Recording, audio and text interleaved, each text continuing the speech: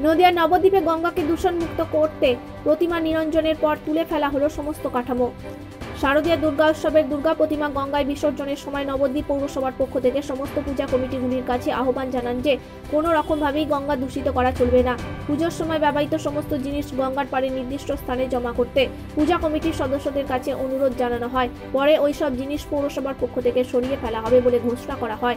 সেই সঙ্গে প্রতিমা গঙ্গায় নিরঞ্জনের পর সেগুলো জল থেকে তুলে ফেলার জন্য ব্রেক ভ্যান ব্যবহার করে সরিয়ে ফেলা হবে। এদিন দুপুরে দেখা গেল গঙ্গার ঘাটগুলিতে সমস্ত আবর্জনা পরিষ্কার করে এবং জল থেকে কাঠামো তুলে ফেলা হচ্ছে। এর ফলে গঙ্গায় স্নান করতে আসা দর্শনার্থী ও নবদ্বীপবাসী খুবই খুশি।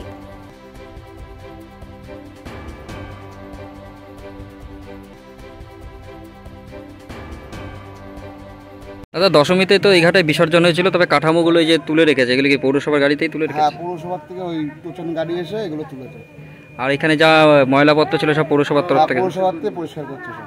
আপনার কি এলাকাবাসী? আমরা এই এলাকাবাসী। তাই যে পৌরসভার এই কাজে আপনারা খুশি? হ্যাঁ হ্যাঁ হ্যাঁ। আপনার নাম? শ্যামসা